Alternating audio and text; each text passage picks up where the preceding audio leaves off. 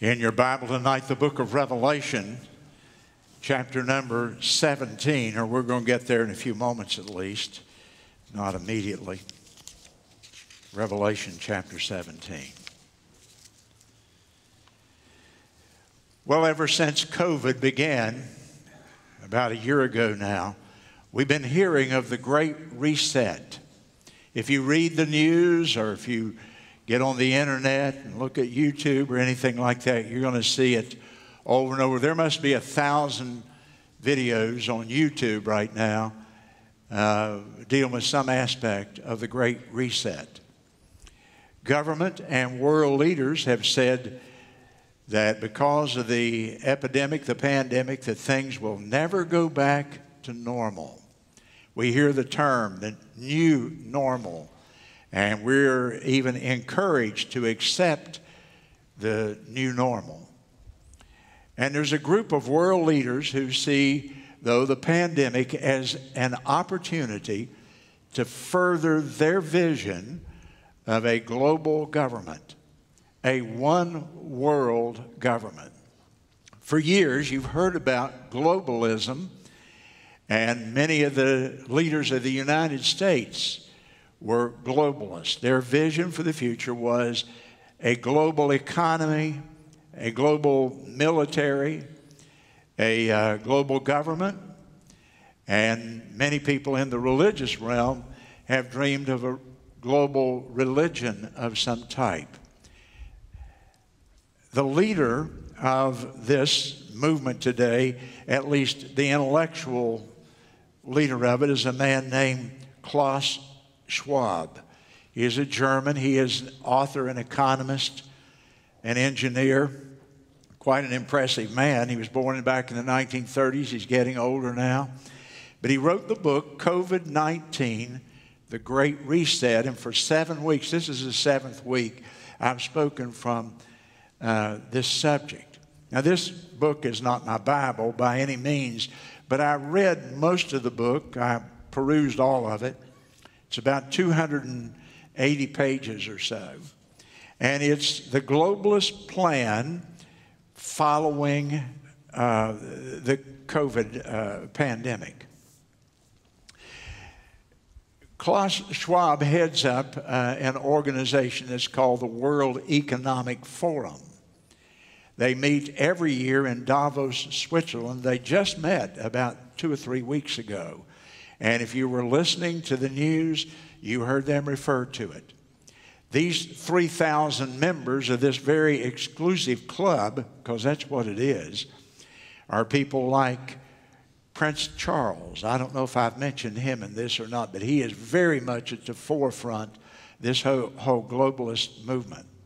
Angela Merkel, the Prime Ministeress of Germany, Emmanuel Macron, who is the President of the nation of France right now, George Soros, who you've heard about as a multi billionaire who finances just about every leftist project in the United States. He's got money in it in some way. He's big in this, as you might suppose. My favorite of all is Dr. Fauci. Need I say more? The medical doctor who follows the science and changes his mind every three days. Dr. Fauci, he's a member of this. And um, Bill Gates is a member, not surprisingly. John Kerry, oh, you knew he'd be there. And these people promote this whole globalist agenda they have for many years. It includes socialism, Marxism, global government. In my opinion, it is a very godless, godless system. Now, the other groups now are coming under the umbrella of this. The World Economic Forum is becoming the leader in this whole movement.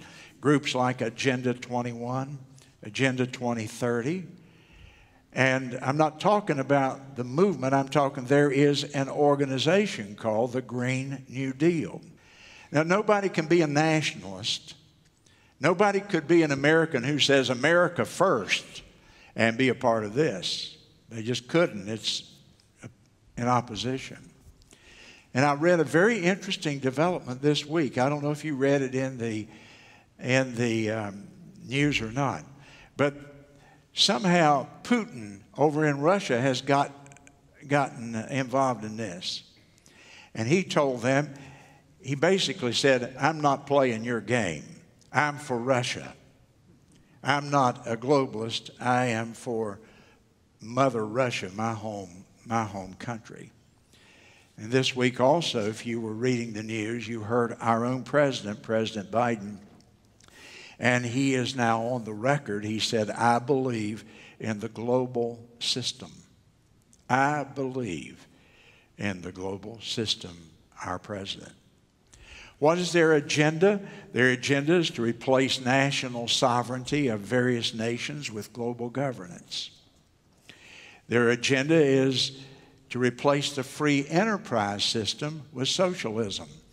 I showed you their video, they said on it, you will own nothing and you will be happy. Their agenda is to abolish Christianity. You read this book through, the word God is not in it one time, or Christ, or Christianity.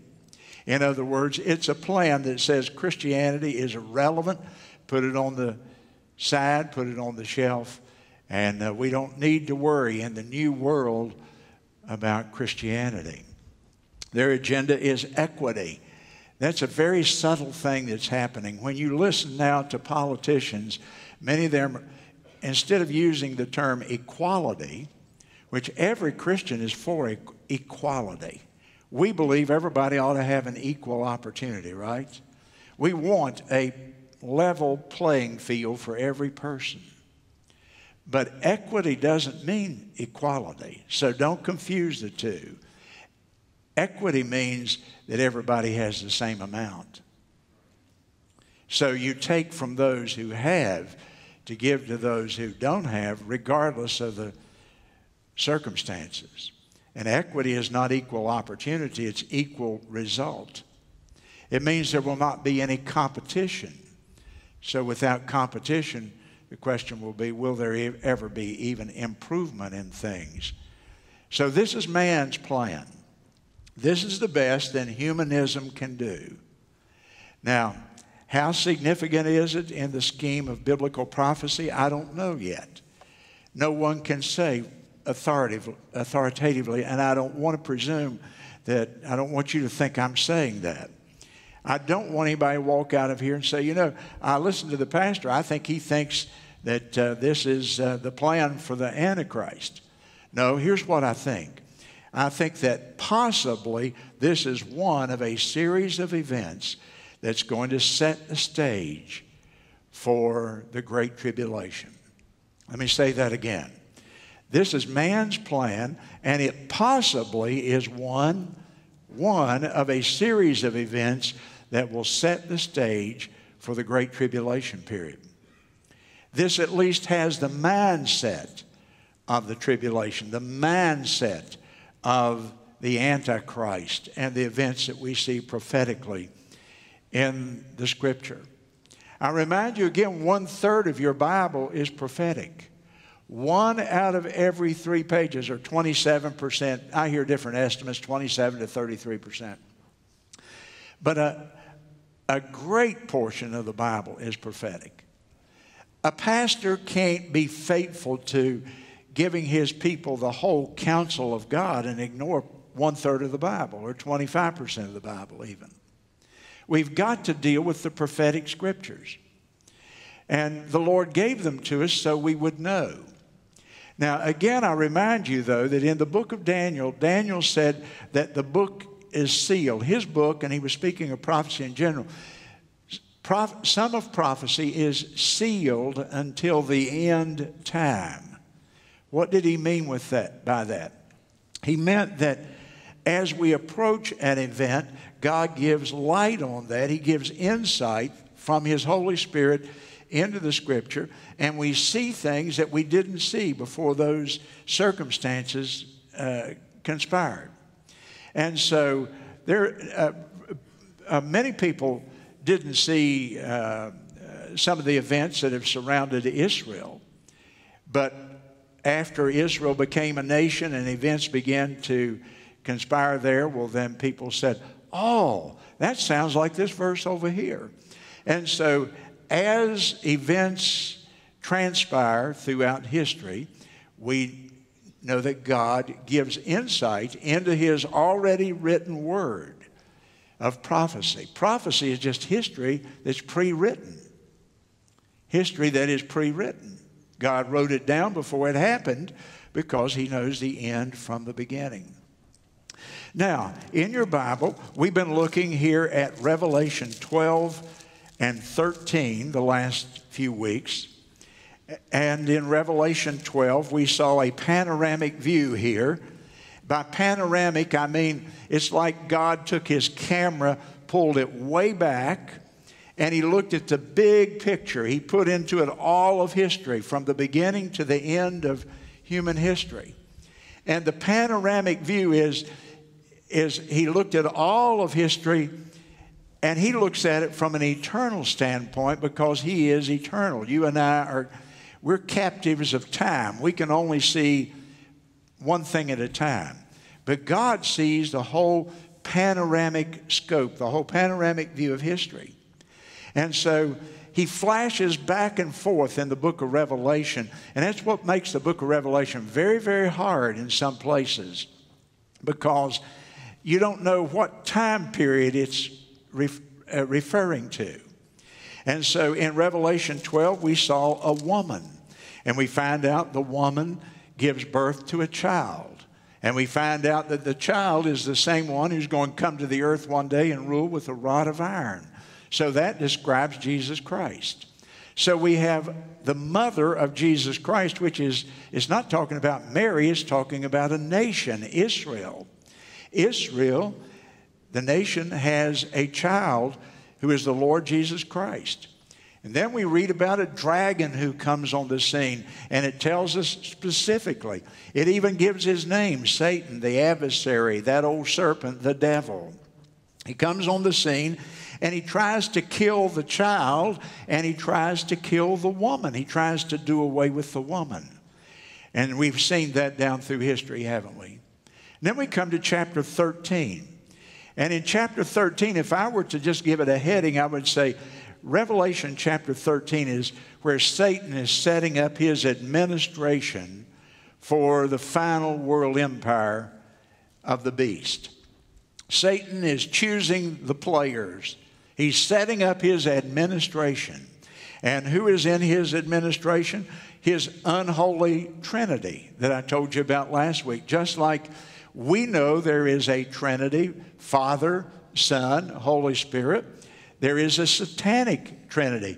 Satan himself is trying to replace God. Then there is the beast, the Antichrist, who is seeking to replace the Lord Jesus.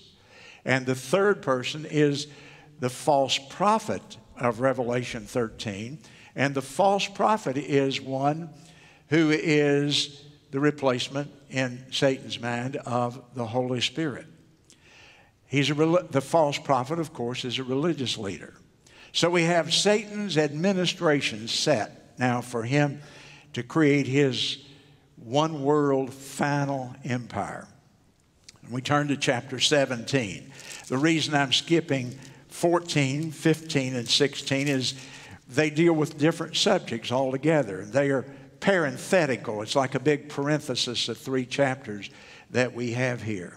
And so we go to chapter 17, and I think the best way for me to handle it is not even try to outline it right now, but just to read through it with you and give you the sense of it as best. I've studied a lot.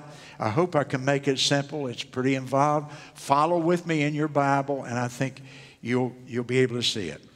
In verse number one, and there came one of the seven angels which had the seven vials. This refers back to chapter 15 and 16, where God gave an angel seven vials and he poured out the contents of those vials upon the earth, and there are seven judgments upon the earth. And you've read about those.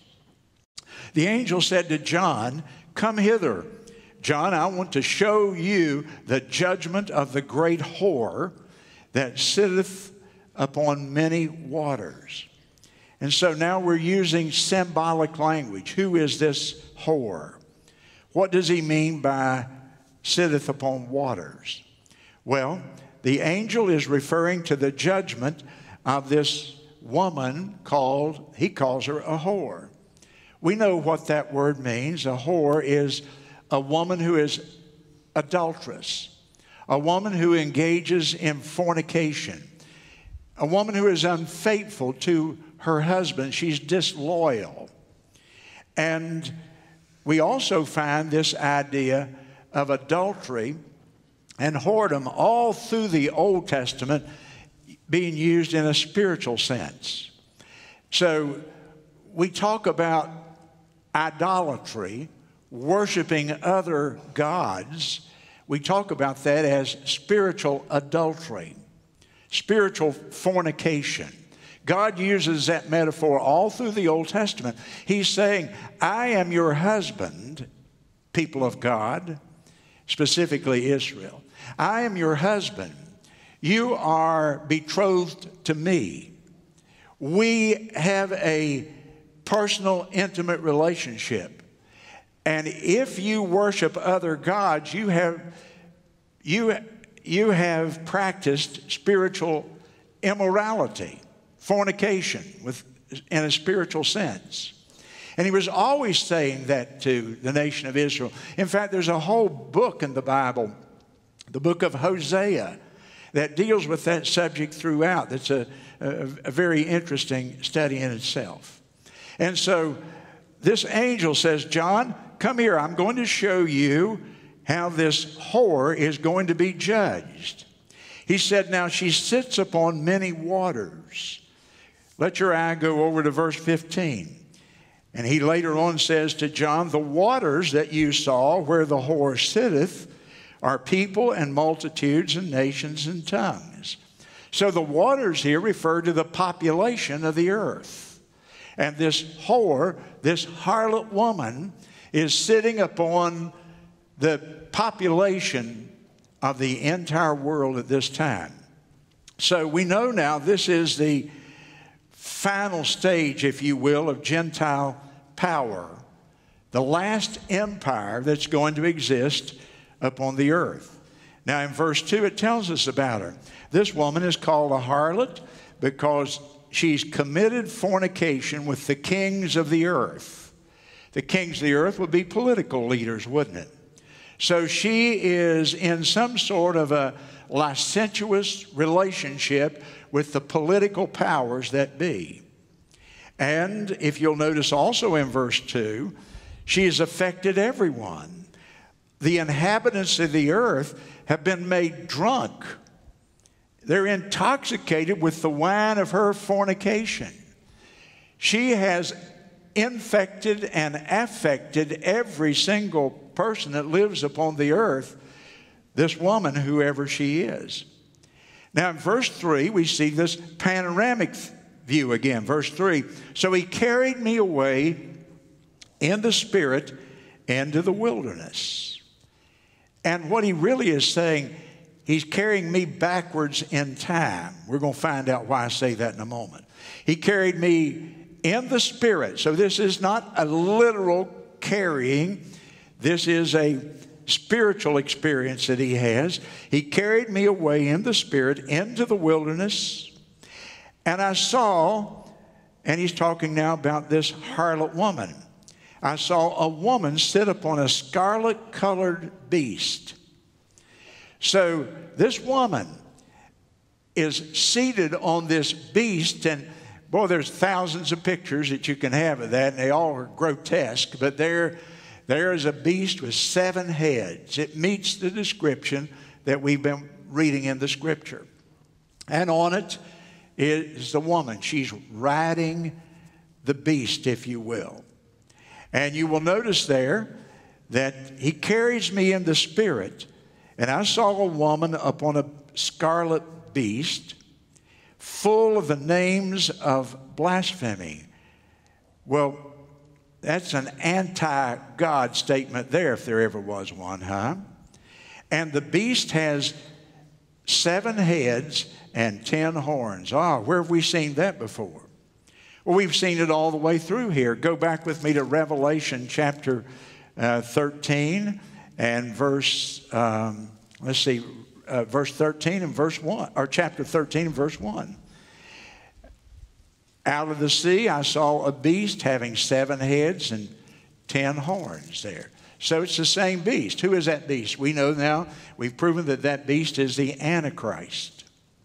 And the Antichrist is being ridden by this woman. What do those seven heads represent for some of you who might not have been here in previous sessions? Those seven heads represent seven Gentile uh, empires that have existed throughout history. Empires that every one of them have been against the people of God, against the nation of Israel, against God's work Himself. And the woman, so the seven, the seven heads mean that this beast is a composite of all of the great empires of the past, all their sins, all their wickedness, all their evil. It's all accumulated here in this beast, this Antichrist figure. And the woman is sitting on it, riding it. When a person rides an animal like that, or whatever, a horse or whatever, they're, they're in control, aren't they? So the woman, whoever she is and whatever she is, she seems to be, if not totally controlling the beast, she's riding him. She's related to him. She's, she's a part of what he's doing now. And John says, They carried me back. They carried me into the wilderness, and I saw the woman upon the scarlet colored beast. Scarlet, what does that mean? Well, in the Bible, scarlet represents, among other things, sin. Do you remember the verse in Isaiah that says that though your sins be as scarlet, they shall be as white as snow? Scarlet is always associated with uh, immorality, adultery, sexual sin, grievous sins of various kinds in the Bible. And so the woman is riding a scarlet colored beast the seven heads representing the past great kingdoms of history. His names are full of blasphemy, so he has the antichrist, anti God spirit. He opposes everything that's holy, everything that's true, and everything that's good. And in verse 3, he has ten horns as well seven heads and ten horns. And so those ten horns represent the ten kingdoms that are going to be coming in the future. So this is panoramic. This covers the whole scheme of time. Now go to verse 4 and let's look about uh, let's look at the woman. The woman is arrayed in purple and scarlet color. Purple is the color of kings, of rulers, of power. Scarlet, as I said, represents in most places in the Bible sin. She's decked out with gold and precious stones and pearls. She has a golden cup in her hand, and the cup is full of abomination. Make a note there in your Bible. The word abomination is same word sometimes translated idolatry. She's opulently, expensively dressed but it's flashy dress. It's dressed like a harlot would have. And she has a golden cup in her hand, and it's full of idolatry and the filthiness of her fornication. So we have idolatry from abomination, and we have fornication. That would be adultery. Idolatry and adultery. Immorality, if you will. So this is quite a woman here. This is a woman who believes in the worship of idols and is grossly immoral here. And she's dressing like a harlot. She's dressing to attract men, if you will. And in verse 5, it says, Her name is on her forehead. And it gives her name. All capital letters in your Bible. Mystery Babylon the Great, the mother of harlots and abominations or idol worship of the earth. Now, he's taken us back, and the phrase Mystery Babylon takes us back over time, panoramic. We go way, way back. We go back to the time of Christ. We go back before Christ. We go back to the establishment of the nation of Israel. We go back, we go clear back to Abraham. We go back before Abraham a little bit. And you wonder now, why did I preach a message on Genesis 10, the Tower of Babel, and Nimrod, the second message I preached in the series? Well, we're going back to that right now. That's what Mystery Babylon represents. Mystery Babylon is the phrase that identifies this woman with what happened at the Tower of Babel. What happened at the Tower of Babel? There was a man named Nimrod. He became a powerful, powerful political leader. And he built this great tower, this ziggurat. And the ziggurat was going up as high as you could to heaven with a zodiac on top.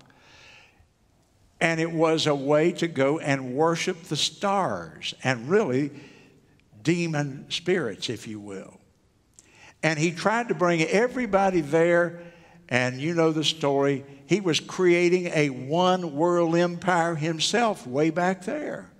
He believed in globalism, he was the first globalist. And you know how God confused their languages and scattered them throughout the whole earth.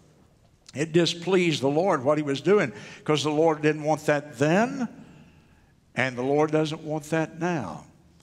And so this takes us back, verse 5, to the Tower of Babel. And Babel is the place where all the false religions, the pagan religions, the anti God belief systems, that's where it started back there at the Tower of Babel all of the occultic beliefs, the pagan beliefs, all of them came from that time. Occultism, pantheism, astrology, what we call today New Age, the worship of idols, it all started in Genesis chapter 10 with the Tower of Babel, the Mystery Babylon. Now, if you'll trace that and you come on through, I won't try to take you through the Bible on this, just, just history. If you come on down through time, that city, Babel, became, or Babel, if you want to call it that, that became Babylon, which is now located in Iraq. And it became the greatest city in the whole world. And it grew and grew and became more powerful and powerful until finally you come to the book of Daniel and you have Nebuchadnezzar, the king, ruling, and he's ruling over the civilized world. It's a worldwide empire, Babylon. But do you know what Babylon, above all, is known for and famous for? Is its demonic and occultic worship. It became, in fact, at the end of Revelation, it's called the whole of every foul bird.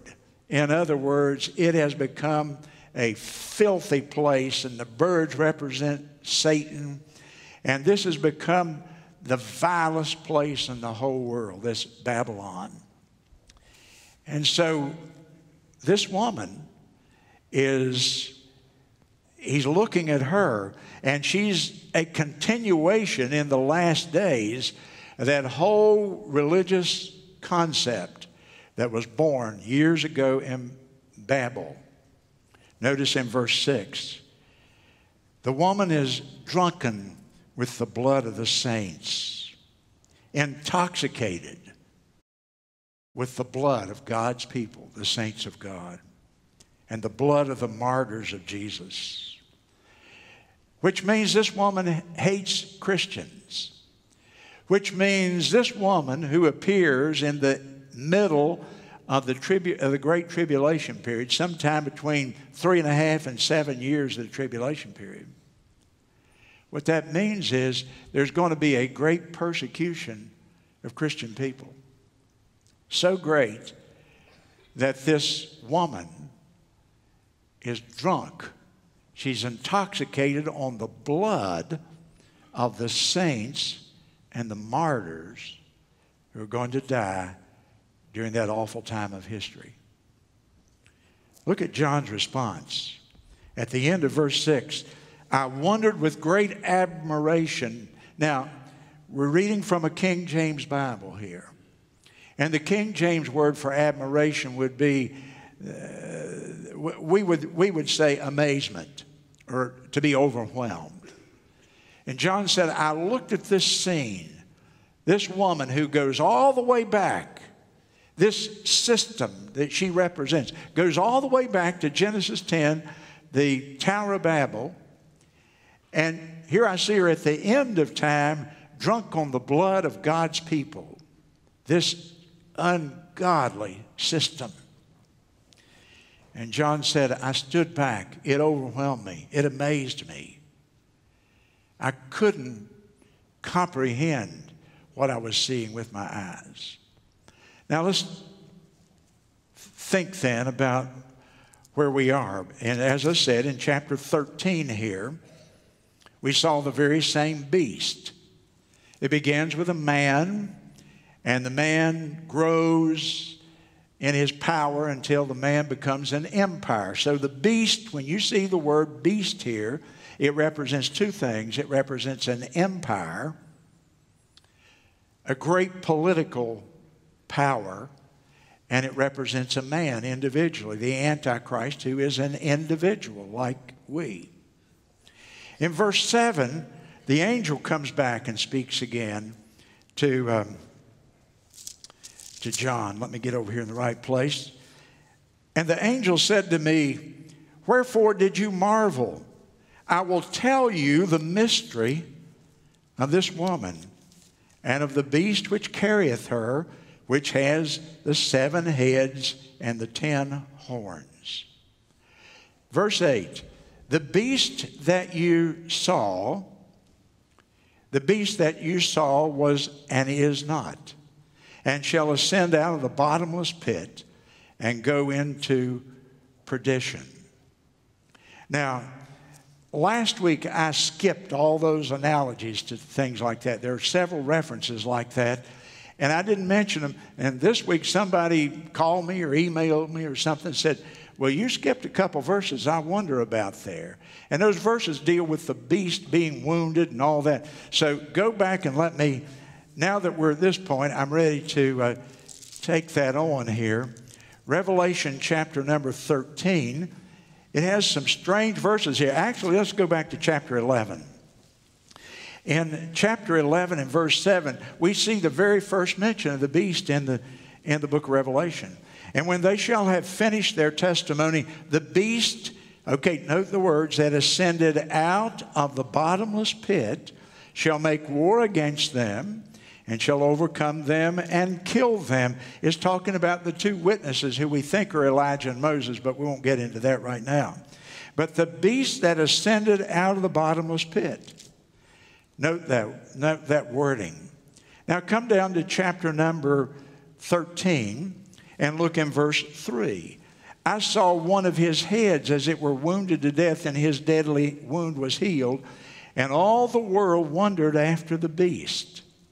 Is that talking about the empire or is that talking about the man, the beast, the Antichrist himself? But I come down to verse 12. He exerciseth all the power of the first beast before him, and he causeth the earth and them which dwell therein to worship the first beast, whose deadly wound was healed. And then, if you will go to verse 14, he deceiveth them that dwell on the earth by the means of those miracles which he had power to do in the sight of the beast, saying to them that dwell on the earth that they should make an image to the beast which had the wound by sword and did live. And then you come to chapter 17 and note it's another similar description using the same terminology and so on. The beast that you saw was and is not, and shall one day ascend down the bottomless pit and go into perdition. And so you see these constant descriptions here of this beast. Something about him, he's wounded, he's wounded in his head, he ceases to exist, and then he comes back again. It's really unclear. I've read every commentary and every scholar that I know on, and the best I can tell you is this that when the Antichrist appears on the scene, the man that something is going to happen to him. We don't know what it may be. It might be an assassination attempt. Somebody tries to kill him, whatever. But he is gravely wounded, and the wound is in his head. It's a head wound. And he comes, uh, he appears to die. I don't know if he dies or not because I don't know if the Bible is using symbolic language or if it's using literal terms here.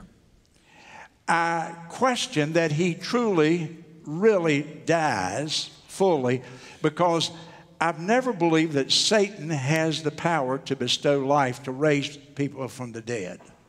Now, there's a lot of good Bible scholars that believe that he literally, that, that the beast dies from this wound and that he is resurrected by the devil, that there's some sort of supernatural occurrence here, some miracle. I personally think the devil is a deceiver and it's a fake.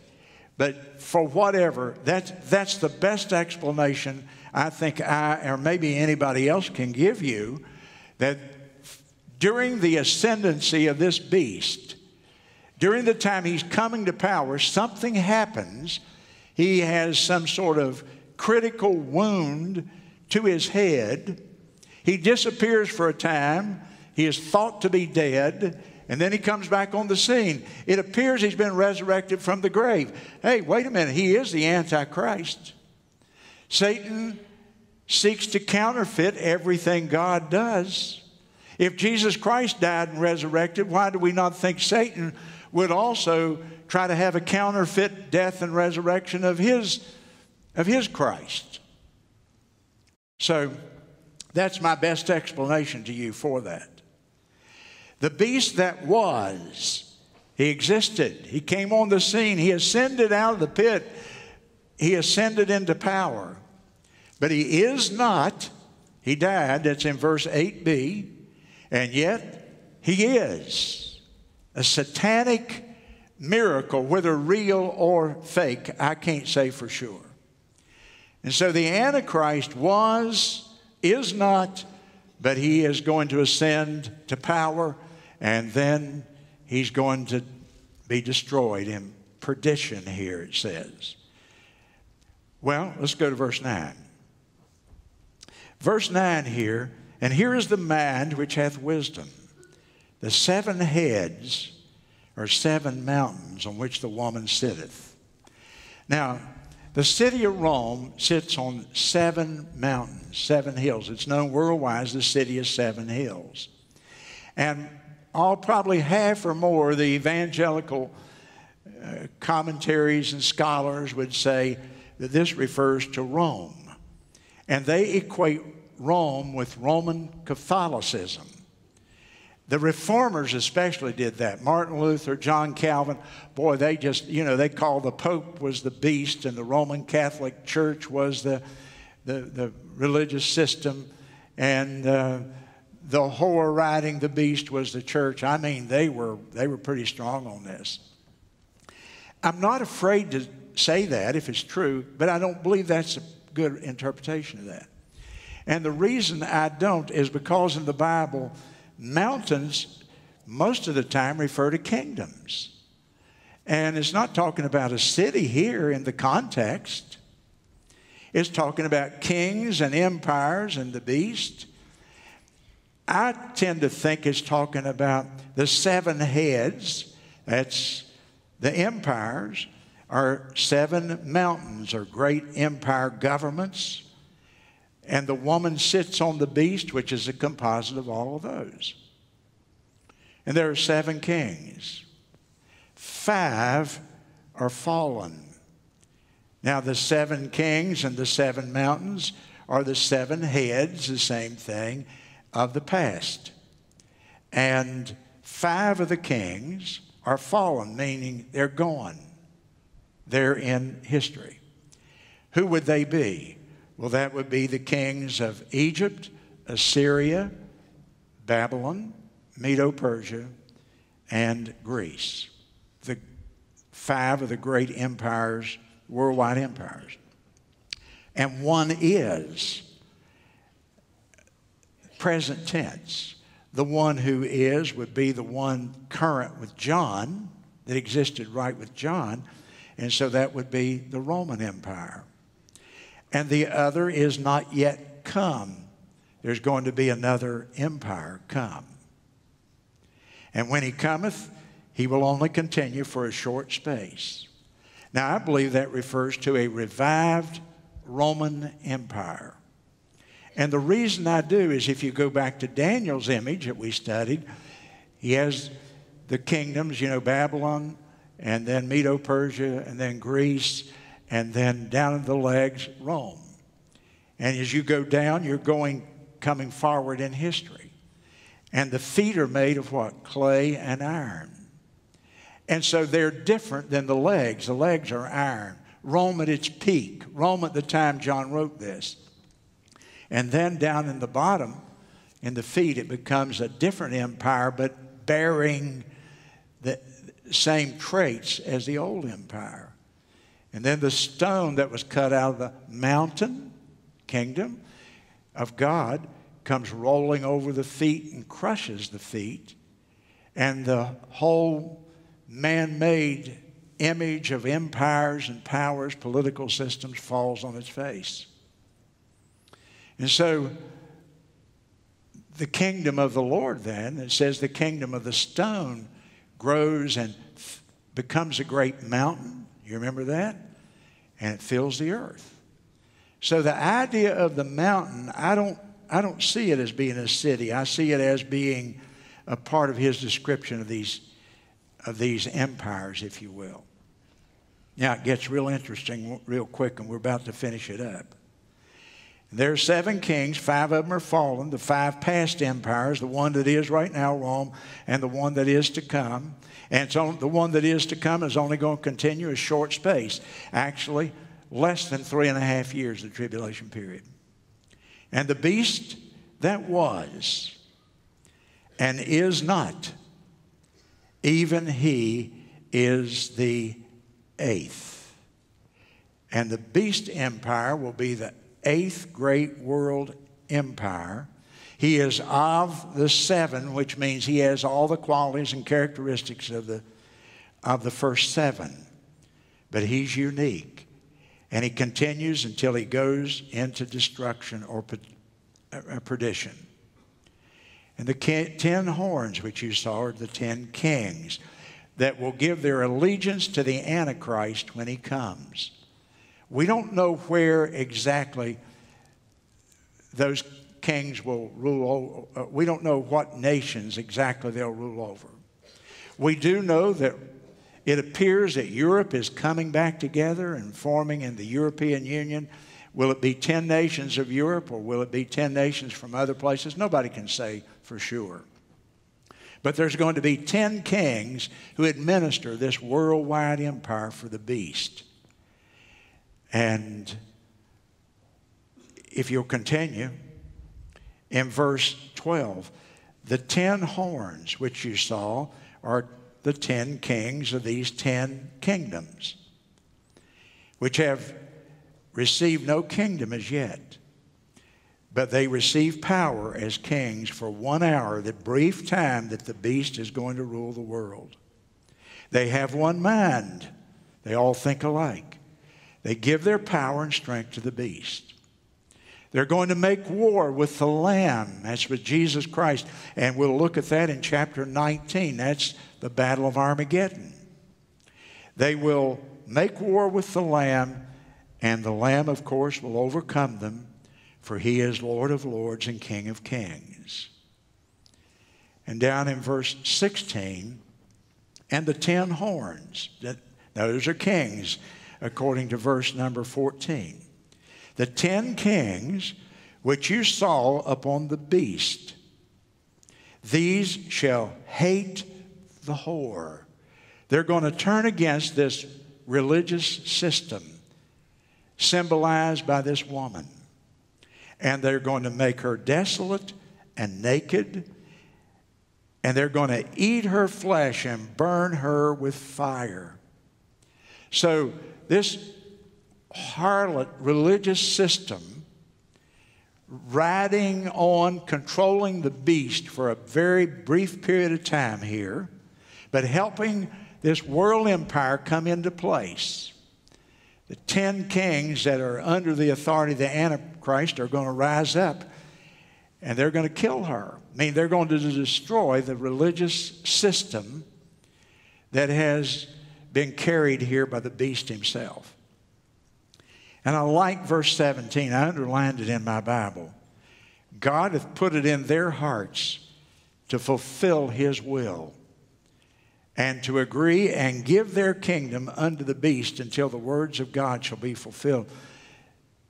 Even though it looks like the beast and the world's godless religious system is in control, verse tells verse uh, 17 tells me God is still sovereign. God is still in control. He puts it in the heart, he puts it in the heart of these 10 kings to rise up against this apostate religious system that's coming and to fulfill his will. And they'll do that until the words of the Lord will be fulfilled. Now, let me try to put all this together in three minutes. So, the Great Reset is a secular approach to bringing about a world government. God is not mentioned, as I said. I think the word religion might be in here once, but I'm, I am not even sure of that. Now, we found out last week that Satan himself believes you can't build a world power without religion. You need religion to unify the people. Secular empires cannot exist very long because they don't have any ultimate unifying power.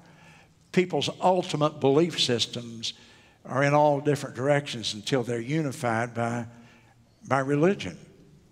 And so he gets this second religious, this second beast, this religious leader, the, the, the false prophet. We talked about him last week. And he creates this worldwide religious system. The system is pictured in chapter 17 as the great whore, the harlot. A system of worldwide godless, anti God religion, riding upon the back of the beast, the worldwide political system. And the woman represents this system that incorporates all the religions of the past. And she allies with the beast, the Antichrist, until finally the kings, the political leaders, revolt against her and destroy her. But the beast still is in power.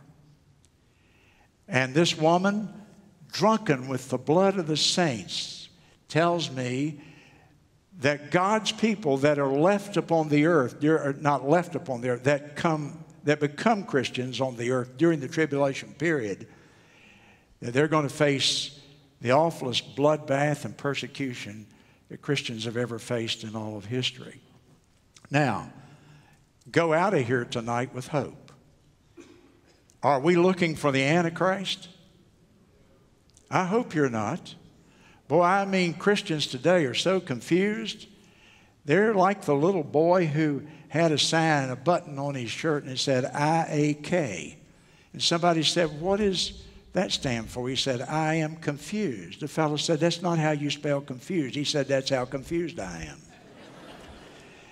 and Christians are so confused. Somebody told me today, one of our members was listening to my message today, and they thought that, that they believe that people are going to come back as angels, that people come back to the earth as angels. Where did you get that?